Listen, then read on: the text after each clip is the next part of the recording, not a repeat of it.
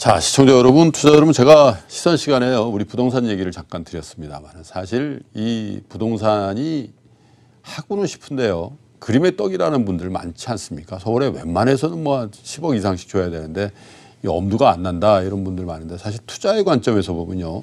이 부동산을 이 유가증권화해서 거래할 수 있는 투자의 tool이 제법 있습니다. 그 중에 하나가 리츠 상품인데요. 최근 들어서 글로벌 리츠 상품의 수익률도 좋고 또 이 투자자들도 꽤 많이 모인다고 합니다. 그 얘기를 비롯해서요, 한국 부동산 시장에 대한 얘기까지 좀 나눠보겠습니다. NH투자증권의 에, 대체 투자팀장을 맡고 있죠. 김형근 연구위원 모시겠습니다. 어서 오십시오. 안녕하십니까. 예. 이게 대체 투자 팀장이면은 주식 채권 말고는 제일 높으신 분이네요.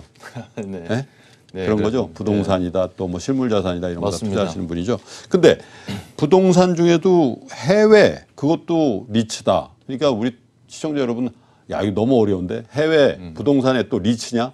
그러실 수도 있는데 한마디로 뭐 좀 설명 좀 해주세요. 어, 부동산을 기초로 해서 음. 어, 운영을 합니다. 음. 매각도 하고 예. 임대 수익을 그걸 이제 투자자들한테 돌려주는 회사다. 네. 그게 리츠 회사고요. 그걸 상장을 해요? 그렇죠. 어허. 왜냐면은 공모로 예. 우리가 일단 오픈 마켓이기 음. 때문에 사고 팔고 임대료가 얼마 되는지를 적정하게 음. 우리 눈으로 투자자들이 봐야 되기 때문에 그렇죠. 상장 조건이 있습니다. 어허. 그렇게 상장이 되면은 예. 우리가 했던 배당세라든지 예. 그 회사는 법인세가 면세입니다. 아, 그래요? 면제됩니다. 예. 어허. 그래서 최근에 곽강을 받고 있죠. 네. 근데 국내는 왜 안 되느냐? 한국에도 몇 개 상장돼 있어요. 돼 근데 있죠. 거래도 없고요. 그죠? 별로 재미도 없더라고요. 왜냐하면 제도적으로 네. 어, 뭐 세법으로 법인세 면세라든지 음. 우리가 양도세 이런 것들은 음. 동일하게 적용이 되기 때문에 음. 외국 글로벌 리츠 회사들은 그래요? 대부분 법적인 제도가 마련이 돼 있다 보시면 됩니다. 그럼 오늘 소개해 줄 때는 대부분 미국 시장에 상장되어 있는 리츠입니까? 어, 원래 리츠 시장이 한 1.7조 정도가 되거든요. 1.7조 달러. 네, 달러입니다. 그러면은 대략 우리나라 코스피보다는 예. 조금 시장이 큰 시장인데요. 예. 한 75%가 대략 미국 리츠 시장이 예. 아마 비중을 차지하고 있고요. 예. 일본하고 호주가 음. 한 7, 8% 정도 음. 이렇게 되고 유럽지 한10% 정도 됩니다. 음. 그래서 어, 아시겠지만 어, 최근에 뭐 미국 금리 인상하고 예. 두 번째는 미중 무역 마찰이라 통상 마찰이 불거지면서 글로벌 경기가 좀 둔화된다고 음. 이슈가 되니까 그렇죠. 이것도 상장돼 있는 주식이기 때문에 빠지는 거 아니에요? 예, 빠졌죠. 예. 올 초에 그래서 많이 빠졌습니다. 예. 빠졌다가 다시 리바운드 하는 이유는 음. 생각보다 글로벌 경기가 나쁘지 않고 경기 회복세가 계속 지속되고 있다. 미국은 지금 strong하다고 그러는 예. 거잖아요. 예. 그래서 아, 대부분 다시 반등을 하고 있는 이유가 미국이 75%를 차지하고 있기 때문에 미국은 확실히 경기가 좋은 시그널이 나타나고 그 지표가 보여지니까 다시 리바운드해서 음. 그렇군요. 이끌어 나가고 있다. 예. 이렇게 보시면 될 것 같습니다. 그렇군요. 그러면 제가 한번 저는 사실 전문가가 아니지만 네. 이럴 것 같아요. 어떤 펀드를 모아 가지고 네. 예를 들면 뉴욕 맨하탄에 있는 상업용 건물 뭐 예를 들면 5천억짜리 그, 그쪽 돈으로 5억 불짜리를 샀다 이거예요. 네, 네. 그러면 수익이라는 게 두 가지 아닙니까? 네. 거기서 나오는 임대 수익이 있을 거고 네. 또 기간이 지나면 그 건물의 가치가 오르냐 내리냐 네. 요거에 따라서 그러면 리츠 상장되어 있는 그 리츠 주가가 오르락 내리락 합니까? 네, 그렇습니다. 음. 어, 보통은 그게 total return 개념으로 해서 예. 상장이 됐기 때문에 주식의 차익도 노릴 수가 있는 거고요. 예. 기본적으로 상장 리츠는 6에서 10%의 배당을 보입니다. 그거 이제 임대 수익을 예. 받아가지고 배당을 준다. 배당을 다 주죠. 예. 왜냐하면 90% 이상 배당을 해야 법인세가 면제가 되기 때문에 네. 90% 이상은 배당을 예, 하게 예. 돼 있고요. 예. 그리고 뭐 새로운 좋은 물건이 생긴다. 아까 말씀하신 음. 맨하탄에 한 5억 불짜리 호텔을 하나 사고 싶으면은 예. 그 회사가 유상증자를 통해서 예. 자금을 조달을 합니다. 아, 그러니까 이 리츠가 그 물건 하나로 그냥 끝나는 게 아니군요. 여러 가지 있죠. 네. 그래서 싱가포르 쪽에 있는 회사들은 예. 꼭 싱가포르에만 부동산을 한정돼 있는 게 아니고요. 예. 글로벌, 말레이시아, 베트남 그리고 호주까지 예. 빌딩, 빌딩을 매입을 하면서 포트폴리오를 다양화시킨다 이렇게 보시면 될 것 같습니다. 예. 그러면 이제 그 펀드 매니저라고 할까요? 그 예. 리츠 자산을 운용하는 이제 펀드 매니저들이 예. 그 사기만 합니까? 팔기도 합니까?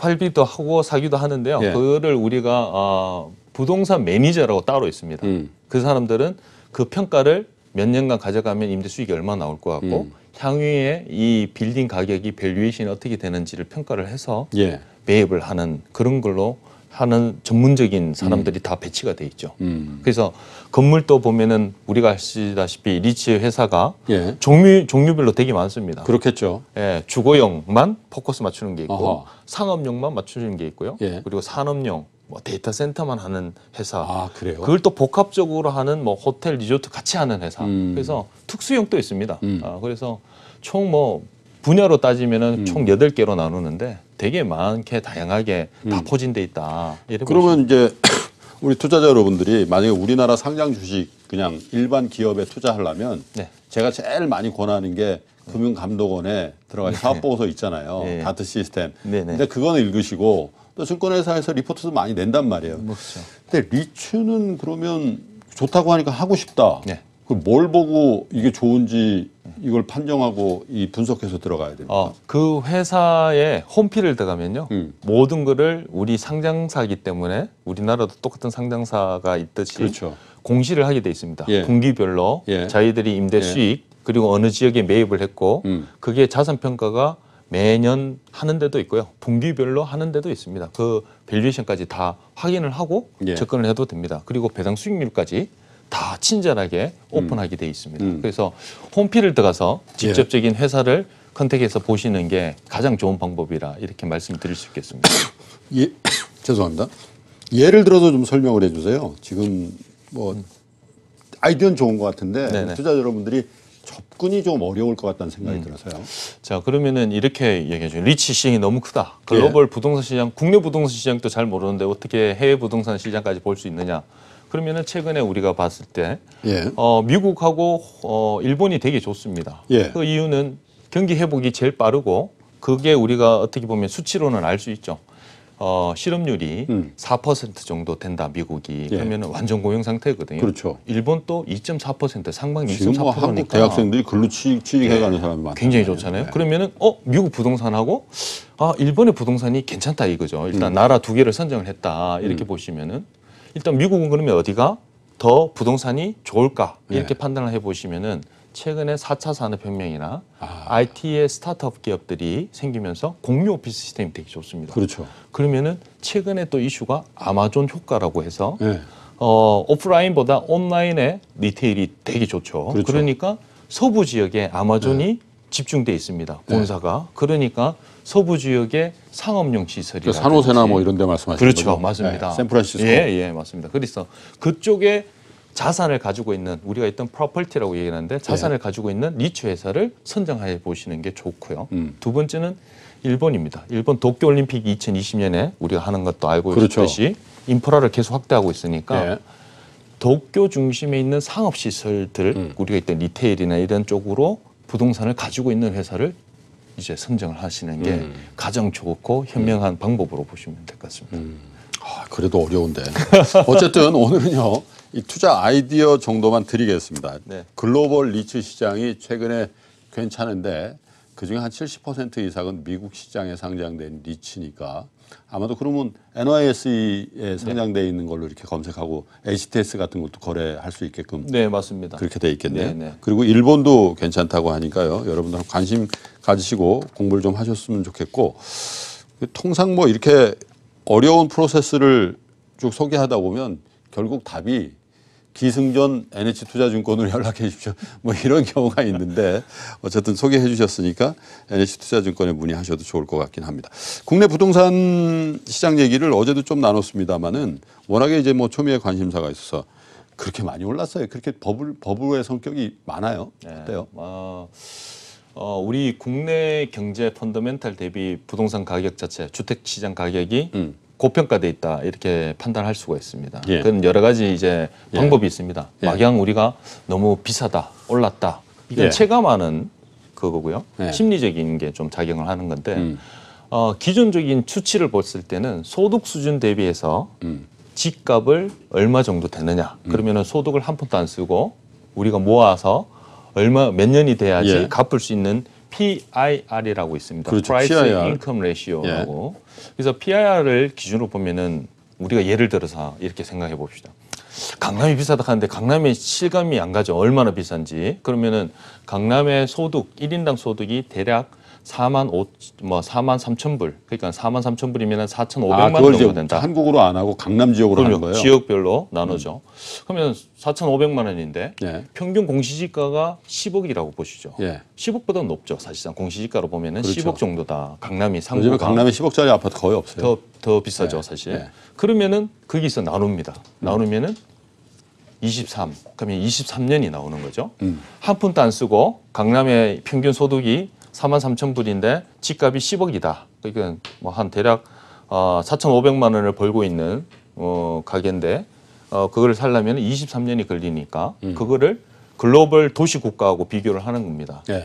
그래서 어, 우리 서울 강남보다 비싼 지역은 홍콩, 베이징, 중국에 있는 그 지역 빼고는 나머지 우리나라가 세 번째 정도로 비싸다고 볼 수 있습니다. 뉴욕, 런던, 파리보다 더 비싼 지역이죠. 그래서 그런 걸로 이제 우리가 아, 경제 펀더멘탈 대비해서는 조금 비싸다고 판단할 수 있다라는 거죠. 그래서 그런 측면에서 이제 부동산 시장을 다 설명하기는 힘들죠. 왜냐면 얘기하면요. 강남에 있는 분들은 전혀 설득이 안 되세요. 안 되죠. 사실상 예, 맞습니다. 네, 그래서 강남의 특수성 얘기하고 지역의 특성 뭐 그럼요. 이런 거 얘기하기 시작하죠. 그죠? 그럼요. 그래서 네. 그런 측도도 있다 이렇게 말씀을 네. 드릴 수 있는 거고. 네. 그래서 최근에 어, 정부에서는 부동산을 못 잡으니까 네. 또 대책을 냈는데 네. 그 대책이 우리가 봤을 때 전문가들. 봤을 때는 네. 어, 미흡하다 보는 거죠. 미흡해요? 예, 수도권에서 네.